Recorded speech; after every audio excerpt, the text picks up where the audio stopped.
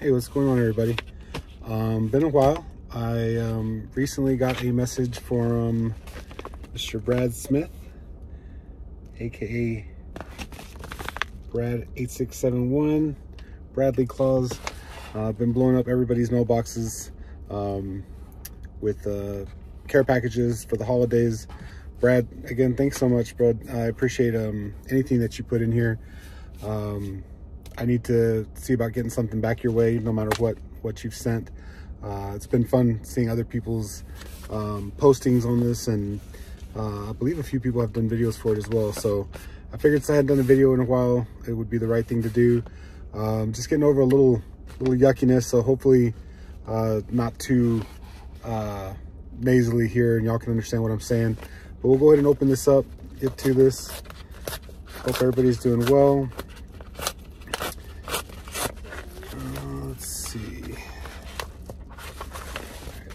Wrapped up.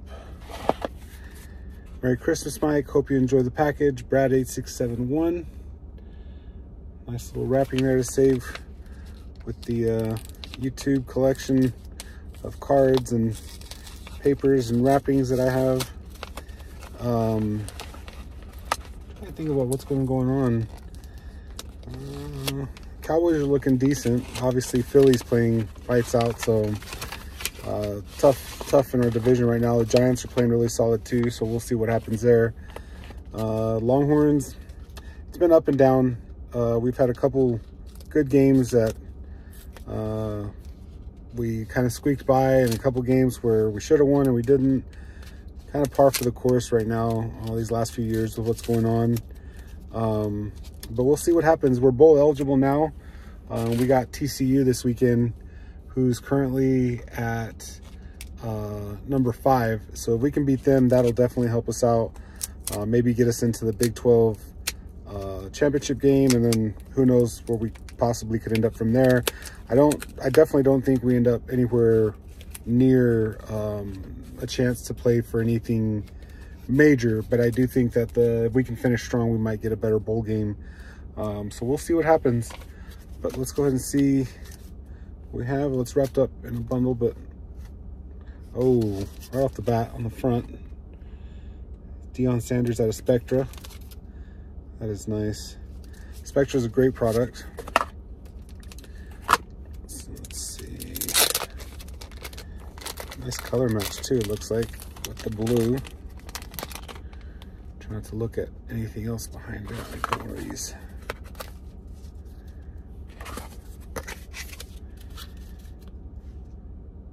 Yeah, number to 99. Very nice. I turned my camera sideways, so hopefully it's doing it correctly. I know last time I did it uh, vertically, and then when I posted the video, it's that little phone video, and I know that can be annoying, so hopefully it does it right this time. Uh, let's see. Oh, now this guy, this guy's playing, oh wow, number to 75 out of Legacy one of the many holo foils, Mr. Micah Parsons. Yeah, this kid's like the best thing the Cowboys got going for them right now, which is amazing.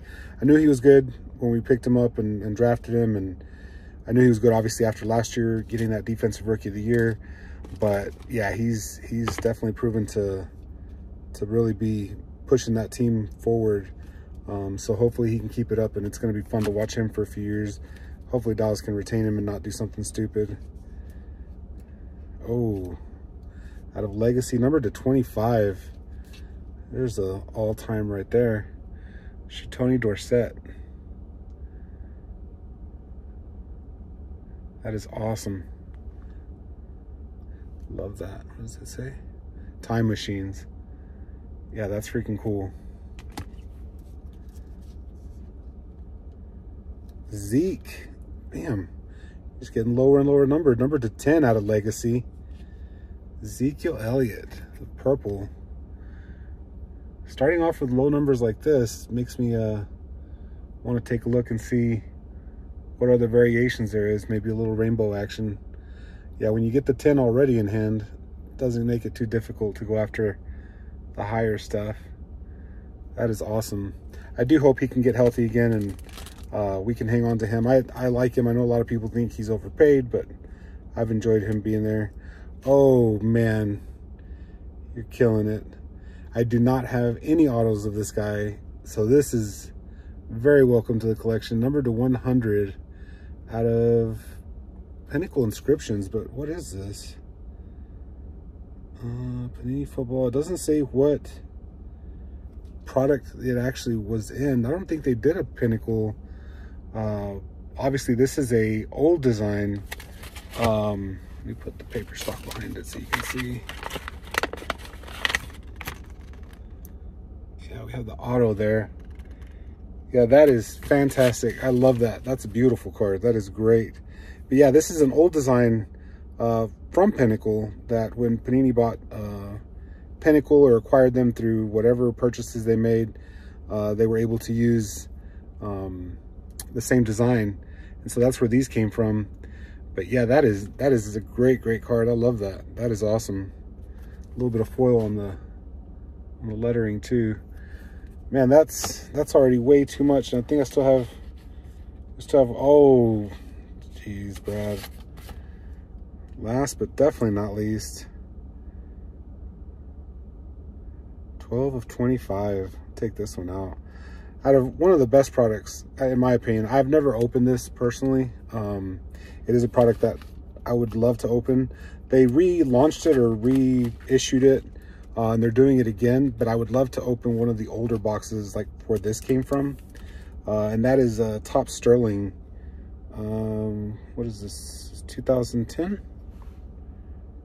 yeah 2010 Topps Sterling and that is a yogi berra number 12 of 25 the mash the mash behind the mask with three game use pieces the old Yankee fabric.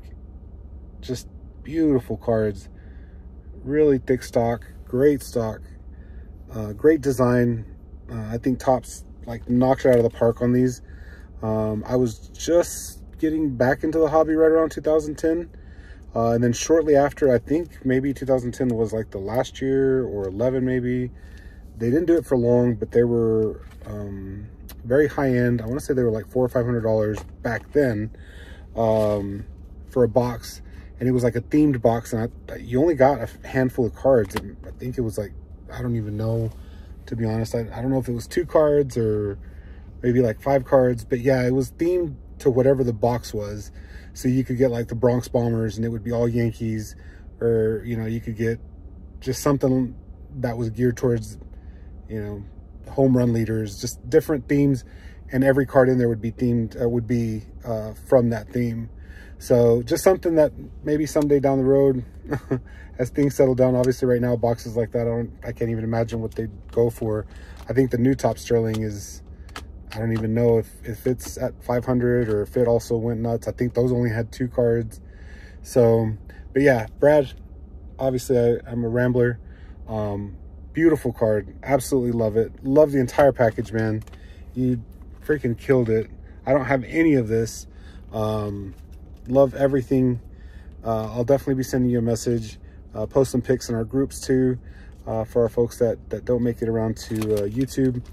Um, but yeah, hope everybody's doing well. Hope you all have a happy, happy holidays. Bradley, yourself as well, sir. Uh, and again, I'll, I'll be working at getting something back uh, to you. Um, I'm pretty sure everybody, if you're watching me, you've more than likely know Brad. Uh, and if you don't, I'll put his link uh, for his channel. Um, please do yourself a favor, go check him out. Uh, all-time Dolphins collector. Word on the street is he's buying uh, Michael Egnew's at 200% uh, of comps. So reach out to him. He's the Egnew super collector, massive collection, big-time Dolphin collector. But yeah, just tell him Mike sent you with the Egnew cards and he'll he'll take care of you on that. But uh, again, y'all take care. We'll talk to y'all soon. Welcome.